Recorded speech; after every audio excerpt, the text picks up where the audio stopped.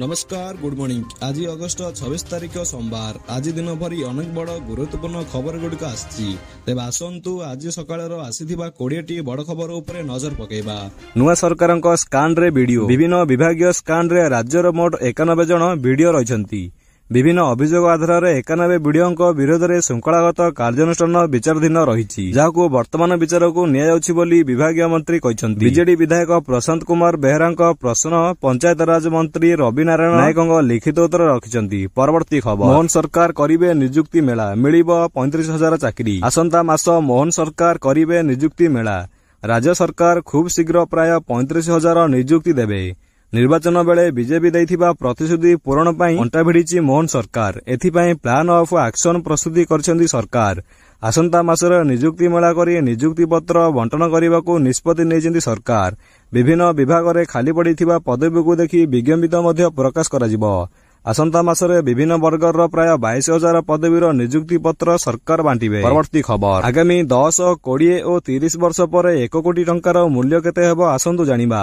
ଆଜିର ସମୟରେ ଏକ କୋଟି ଟଙ୍କା ରଖି ଅବସର ନେବା ଯଥେଷ୍ଟ ବୋଲି ମନେ ହୁଏ କିନ୍ତୁ ଆପଣଙ୍କ ଅବସରରେ ସମୟରେ ଏକ ଆପଣଙ୍କ ଲକ୍ଷ୍ୟ ପୂରଣ କରିପାରିବ ବୋଲି ଯେପରିକି ଘର କିଣିବା ପିଲାଙ୍କ ଶିକ୍ଷା ପାଇଁ ଅର୍ଥ ପ୍ରଦାନ କିମ୍ବା ପିଲାଙ୍କ ବିବାହ ଖର୍ଚ୍ଚ ବହନ କରିବା ଇତ୍ୟାଦି।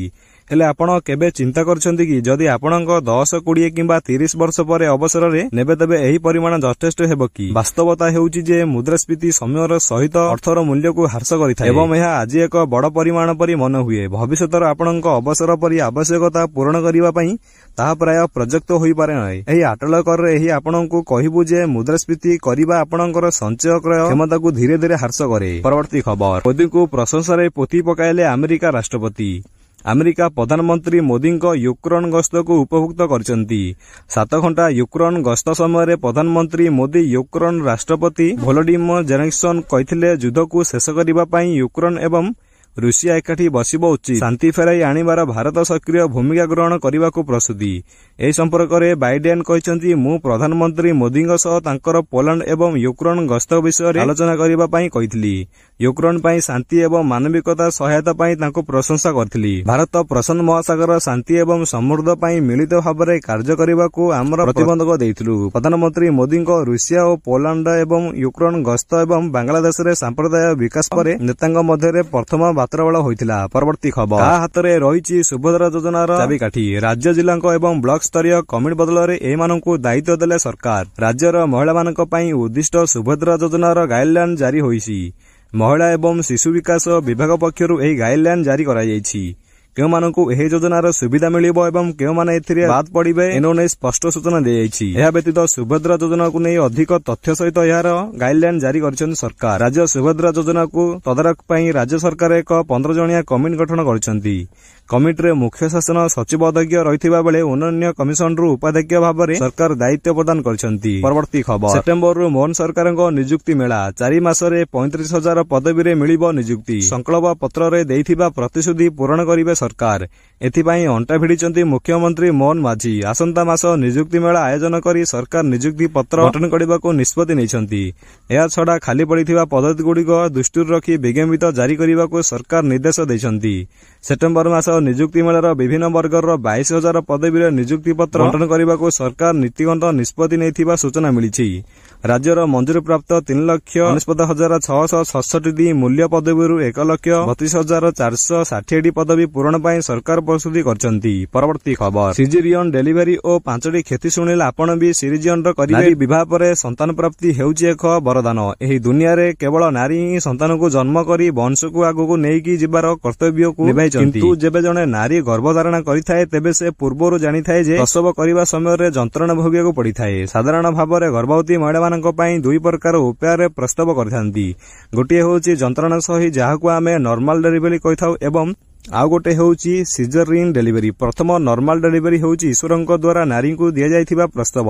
କିନ୍ତୁ ଆଜିକାଲି ଆମେ ମେଡିକାଲ ଅନୁସାରେ ରିସର୍ଚ୍ଚ କରିବା ଦ୍ୱାରା ଆମେ ଜାଣିବାକୁ ପାଉଥାଉ। ପରବର୍ତ୍ତୀ ଖବର କୁକୁଡ଼ାଙ୍କୁ ମାରି ପୋତି ଦିଆଯିବ ଫାର୍ମ ମାଲିକଙ୍କୁ ଦିଆଯିବ ଅନୁପକମ ରାଶି। ସଂକ୍ରମଣକୁ ନେଇ ବର୍ତ୍ତମାନ ପୁରୀ ଜିଲ୍ଲାର ଆତଙ୍କ ଦେଖାଇଛି। ତେଣୁ ସ୍ୱାସ୍ଥ୍ୟ ନିର୍ଦ୍ଦେଶକ ସମସ୍ତ ରାଜ୍ୟ ସଂକ୍ରମଣ ପାଇଁ ସତର୍କତା ରହିବା ସହ କିଛି ଦିନ ପାଇଁ ଚିକେନ ନ ଖାଇବା ପରାମର୍ଶ ଦେଇଛନ୍ତି। ଏହାପରେ ସାରା ଓଡ଼ିଶାରେ ଆରମ୍ଭ ହୋଇଯାଇଛି କୁକୁଡ଼ା ମରା ଅଭିଯାନ।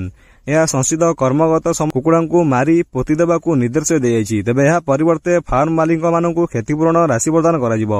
ଏନେଇ ନେଇ ଜନସ୍ୱାସ୍ଥ୍ୟ ନିର୍ଦ୍ଦେଶନା ସୂଚନା ଦେଇଛି। ପରବର୍ତ୍ତୀ ଖବର। ଝାଡ଼ଖଣ୍ଡରେ ଆଗାମୀ ବିଧାନସଭା ନିର୍ବାଚନ ବିଜେପି ଓ ଆଜସ୍ସୁ ଏବଂ ଏକାଠି ଲଢିବେ। ଆଜିକୁ ପ୍ରାୟ ମୁଖ୍ୟ ତଥା ପୂର୍ବତନ ଉପମୁଖ୍ୟମନ୍ତ୍ରୀ ସୁଦେଶ ମହତୁ ସୋମବାର ଦିନ ନୂଆଦିଲ୍ଲୀରେ ସ୍ୱରାଷ୍ଟ୍ର ଅମିତ ଶାହାଙ୍କୁ ଭେଟିବା ପରେ ଏହା ସୂଚନା ଦେଇଛନ୍ତି।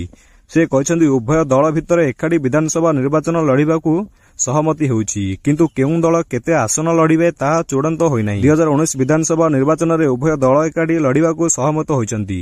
କିନ୍ତୁ ବର୍ତ୍ତମାନ ସମୟରେ ଆଜିକୁ ପୃଥ୍ୱୀରାଜ ଚୌହାନ ଲଢିବାକୁ ଘୋଷଣା କରିଥିଲେ। ପରବର୍ତ୍ତୀ ଖବର। ଫାସ୍ଟ୍ୟାଗ ସ୍ଥାନରେ ଖୁବ୍ ଶୀଘ୍ର ଲାଗୁ ହେବାକୁ ଯାଉଛି ଜିଏନ୍ସିଏସ୍ଏସ୍। ବଦଳିବ ଟେଲ୍ ପୈଠକ କରିବାର ସମ୍ପୂର୍ଣ୍ଣ ପ୍ରକ୍ରିୟା। ଭାରତରେ ଦିନକୁ ଦିନ ବୈଷୟିକ କ୍ଷେତ୍ରରେ କିଛି ନା କିଛି ନୂଆ ଘଟଣା ଘଟୁଛି।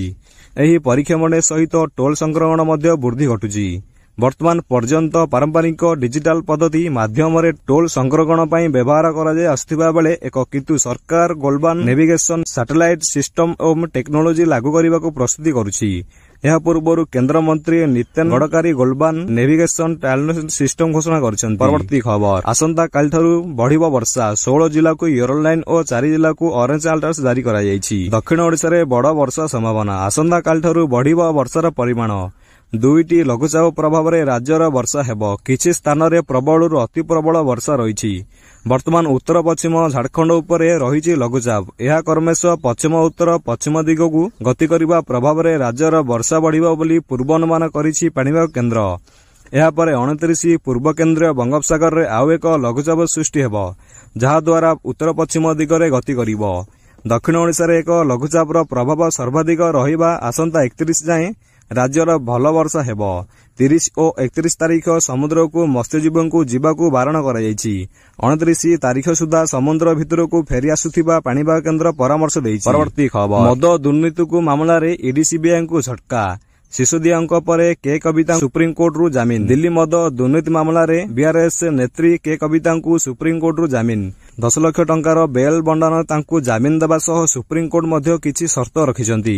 କବିତାଙ୍କୁ ନିଜର ପାସପୋର୍ଟ ଜମା କରିବାକୁ ହେବ। ଦେଶରେ ସବୁଠାରୁ ବଡ଼ କୋର୍ଟ ତାଙ୍କୁ ଜାମିନ ଦେବା ସହ ଏହା କହିଛନ୍ତି ଯେ ପ୍ରମାଣ ନଷ୍ଟ କରିବାକୁ ଚେଷ୍ଟା କରନ୍ତୁ ନାହିଁ। କବିତାଙ୍କୁ ଏଭଳି ସମୟରେ ଜାମିନ ମିଳିଛି ଯେତେବେଳେ ନିକଟରେ ସୁପ୍ରିମକୋର୍ଟ ଦିଲ୍ଲୀ ଓ ଉପମୁଖ୍ୟମନ୍ତ୍ରୀ ମନୀଷ ସିସୋଦିଆଙ୍କୁ ମଧ୍ୟ ଅଠର ମାସ ପରେ ଜାମିନ ପ୍ରଦାନ କରିଛନ୍ତି। ପରବର୍ତ୍ତୀ ଖବର। ରାଜଧାନୀରେ ହଜାର ହଜାର ମୁହଁ ଡେଙ୍ଗୁ ରୋଗୀ।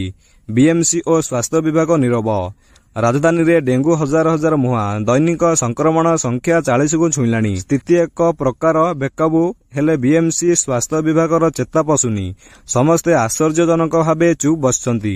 ଲାଗୁଛି ସହରବାସୀ ପ୍ରତି କିଛି ଡର ନାହିଁ। ସରକାର ତଥ୍ୟ ଅନୁସାରେ ଉଣେଇଶ ତାରିଖର ଏକତିରିଶ ରୋଗୀଙ୍କୁ ଚିହ୍ନଟ ହୋଇଥିଲା।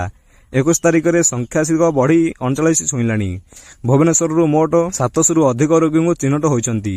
ସେଥିମଧ୍ୟରୁ ଅଗଷ୍ଟ ମାସ ଚାରିଶହ ଚାଳିଶଟି ରହିଛନ୍ତି। ସର୍ବାଧିକ ପଟିଆରୁ ଅଣଚାଳିଶଟି ରୋଗ ଚିହ୍ନଟ ହୋଇଛି। ଖଣ୍ଡଗିରିରୁ ତେୟାଳିଶଟି ସାଲିଆସାହିରୁ ପଚିଶଟି ଜାଗାମରରୁ ଏକୋଇଶଟି। ଏହିସବୁ ଅଞ୍ଚଳରେ ଡେଙ୍ଗୁ କାୟଦ ବିସ୍ତାର କଲାଣି। ପରବର୍ତ୍ତୀ ଖବର। ପ୍ରତି ନିର୍ବାଚନ ମଣ୍ଡଳୀ ନେତାଙ୍କୁ ଭେଟିବେ ନବୀନ। ସଂଗଠନ ନେଇ ସ୍ଥିତିକୁ ଭରସିବେ ନବୀନ? ବବି ପୁଣି କ୍ଷମତାକୁ ଫେରିବେ ନା ଆଉ କାହା ଖାନ୍ଦରେ ସଂଗଠନ ଭାବେ? ନବୀନ ନା ନିଜେ ଅଣ୍ଟା ଭିଡ଼ି ମଇଦାନ ଦେଖିବେ। ପୂର୍ବ ଭଳି ଜଣେ ନେତାଙ୍କୁ ସଂଗଠନ ସୁପ୍ରିମ କରିବେ ନା କିଛି ପ୍ରମୁଖ ନେତାଙ୍କ ଭିତରେ ସଂଗଠନ ଭାବେ ବାଣ୍ଟିଦେବେ। କାହାକୁ ରଖିବେ ଓ କାହାକୁ ଦୂରେଇବେ। ଏହାକୁ ନେଇ ନବୀନଙ୍କ ଅଙ୍କକକ୍ଷ ସରୁନି ଏପଟେ ବିଜେଡିର ନୂଆ ଟିମ୍ ଘୋଷଣା ବିଳମ୍ବ ହୋଇସାରିଛି। ନିର୍ବାଚନ ପରାଜୟକୁ ନେଇ ଅଢେଇ ମାସ ବିତିଗଲାଣି। ଆଉ ଆଠ ଦିନ ପରେ ତିନି ମାସ ହୋଇଯିବ। ଏପଟେ ରାଜ୍ୟ କମିଟି ଭଙ୍ଗ ହେବାର ଦେଢ ମାସ ବିତିଗଲାଣି। କିନ୍ତୁ ଦଳର ରାଜ୍ୟସ୍ତରୀୟ ସାଂଗଠନିକ ନୂଆ କମିଟି ଘୋଷଣା ହୋଇପାରୁନି। ଦଳର ସଭାପତି ତଥା ପୂର୍ବତନ ମୁଖ୍ୟମନ୍ତ୍ରୀ ନବୀନ ପଟ୍ଟନାୟକ ଏନେଇ ନେଇ ଚୂଡାନ୍ତ ନିଷ୍ପତ୍ତି ନେବେ। ମାତ୍ର ଏ କ୍ଷେତ୍ର ଦଳରେ ସମନ୍ୱୟ କମିଟିର ସୁପାରିଶ ବେଶ୍ ଗୁରୁତ୍ୱ ଦେଉଛନ୍ତି ନବୀନ। ପରବର୍ତ୍ତୀ ଖବର। ଗାଁର ମହିଳାଙ୍କ ପାଖରେ ସୁବିଧାରେ ପହଞ୍ଚିବେ ସୁଭଦ୍ରା ଫର୍ମ। ଚଉତିରିଶ ହଜାର ଅଙ୍ଗନବାଡି କେନ୍ଦ୍ରରେ ହେବ ଉପଲବ୍ଧ। ସୁଭଦ୍ରା ଯୋଜନାକୁ ନେଇ ଉପମୁଖ୍ୟମନ୍ତ୍ରୀ ପ୍ରଭାତୀ ପରିଡ଼ାଙ୍କ ପ୍ରତିକ୍ରିୟା।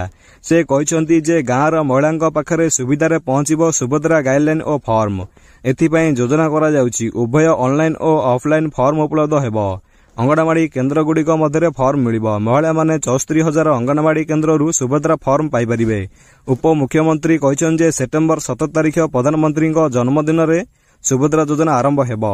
ପ୍ରଭୁ ଜଗନ୍ନାଥଙ୍କ ପାଖରେ ସମର୍ପିତ ପ୍ରଧାନମନ୍ତ୍ରୀ। ତେଣୁ ସୁଭଦ୍ରାଙ୍କ ନାଁରେ ନାମିତ ଯୋଜନା ପ୍ରଧାନମନ୍ତ୍ରୀ କରିବେ ପରବର୍ତ୍ତୀ ଖବର। ବନ୍ୟପ୍ରାଣୀଙ୍କୁ ପ୍ରାକୃତିକ ଆବାସକୁ ଉଡନ୍ତା ଦେଇ ବେଆଇନ ଭାବେ ଫଳାଉଛନ୍ତି ମଙ୍କା ଆଦିବାସୀ ଢାଲଗରି ବିହାରୀ ଓ ବଙ୍ଗୀୟ ବାହୁବଳୀ କଳାହାଣ୍ଡିର ପ୍ରାକୃତିକ ଜୈବ ବିବିଧତାକୁ ବର୍ଷ ବର୍ଷ ଧରି ଏଭଳି ପହର କରି ଚାଲିଛନ୍ତି। ମଙ୍କା ଚାଷ ପାଇଁ ଅଧନେଇଙ୍କ ପ୍ରବେଶକୁ ନେଇ ତୁମଳକାଣ୍ଡ ଘଟୁଛି। ଅଶାନ୍ତି ହେଉଛି ଶାନ୍ତି ଇଲାକା। ହେଲେ ମାଫିଆଙ୍କ ଉପରେ ଅଙ୍କୁଶ ଲଗାଇବା ତ ଦୂରର କଥା। ସବୁ ଜାଣି ଅନ୍ଧପୁଟୁଳି ବାନ୍ଧି ବସିଛି ବନ ବିଭାଗ ମାସିକିଆ ହାତଗୁଞ୍ଜା ନେଇ ମାଫିଆଙ୍କ ନିରବ ସମର୍ଥନ କରୁଛନ୍ତି ବିଭାଗୀୟ କର୍ମଚାରୀ। ସାହୁକାରଙ୍କ ରାଜକାରଣରୁ ଧର୍ମଘଟ ବନାଞ୍ଚଳ ଅନ୍ତର୍ଗତ ଓ ସାହସ ଖୋଲ ସଂରକ୍ଷିତ ଜଙ୍ଗଲ ଏବେ ସର୍ତ୍ତା ବଞ୍ଚାଇବାକୁ ଘୋଷଣା କରୁଛି। ପରବର୍ତ୍ତୀ ଖବର। ଭୁବନେଶ୍ୱରରେ ଭଙ୍ଗା ହେବ ଶହେ ଏକାନବେଟି ବେଆଇନ ଆପାର୍ଟମେଣ୍ଟ। ବିଡିଓ ଅଧୀନରେ ଥିବା ବେଆଇନ ଭାବେ ଚାରିଶହ ଏକାନବେଟି ଆପାର୍ଟମେଣ୍ଟ ଥିବା ଅଭିଯୋଗ ହୋଇଥିଲା। ଏଥିରୁ ଶହେ ବୟାନବେଟି ଭାଙ୍ଗିବାକୁ ରାଜ୍ୟ ସରକାର ନିର୍ଦ୍ଦେଶ ଦେଇଛନ୍ତି। ସେପରି ସତଷଠିଟି ମାମଲା ଖାରଜ ହୋଇଥିବା ବେଳେ ଦୁଇଶହ ସତତିରିଶଟି ମାମଲା ବିଚାରାଧୀନ ରହିଛି। ବିଧାନସଭାରେ ବିଜେଡି ବିଧାୟକ ରଣପ୍ରତାପ ସ୍ୱାଇଁଙ୍କ ପ୍ରଶ୍ନ ଉତ୍ତର ରଖି ନଗର ଉନ୍ନୟନ ମନ୍ତ୍ରୀ କୃଷ୍ଣଚନ୍ଦ୍ର ମହାପାତ୍ର ସୂଚନା ଅନୁଯାୟୀ ରାଜଧାନୀ ସମେତ କଟକ ପୁରୀ ଖୋର୍ଦ୍ଧା ରାଉରକେଲା ସମ୍ବଲପୁର ବ୍ରହ୍ମପୁର ଝାରସୁଗୁଡା ଅନୁଗୁଳ ଲକ୍ଷାଧିକ ଆପାର୍ଟମେଣ୍ଟ ଗଢି ଉଠିଛି। ଏହାକୁ ଛାଡି ମାଳ ମାଳ ବହୁବିତ ପ୍ରସାଦ ଓ ଆବାସନ କୋଠା ତିଆରି ହୋଇଛି। ପରବର୍ତ୍ତୀ ଖବର। ରାଜ୍ୟ କଂଗ୍ରେସ ବିଜେଡି ଓ ବିଜେପିରେ ନୂଆ ନେତୃତ୍ୱ ସୃଷ୍ଟି ପାଇଁ ସୁଯୋଗ। ଓଡିଶାରେ ଗତ ଚବିଶ ବର୍ଷ କାଳ ଜନସାଧାରଣ ନବୀନ ପଟ୍ଟନାୟକ ନେତୃତ୍ୱାଧୀନ ବିଜେଡି ବିପୁଳ ସମର୍ଥନ ପ୍ରଦାନ କରିବା ପଛରେ ଗୋଟିଏ ମୁଖ୍ୟ କାରଣ ଥିଲା ଯେ ଜନସାଧାରଣଙ୍କ ପାଖରେ କୌଣସି ବିକଳ୍ପ ନେତୃତ୍ୱ ମିଳୁନଥିଲା। କଂଗ୍ରେସ ଦଳ ଦୁଇ ହଜାର ମସିହାରେ କ୍ଷମତାକୁ ହେବା ପରଠାରୁ ବିଶେଷ ଭାବରେ ଜାନକୀ ପଲ୍ବ ଓ ପଟ୍ଟନାୟକ ନେତୃତ୍ୱରେ ଅପସରି ଯିବା ପରେ କଂଗ୍ରେସ ଭିତରେ ସାଧାରଣ ବିଶ୍ୱାସ ସୃଷ୍ଟି କଲା ଭଳି କୌଣସି ନେତୃତ୍ୱ ସୃଷ୍ଟି ହୋଇପାରିଲା ନାହିଁ।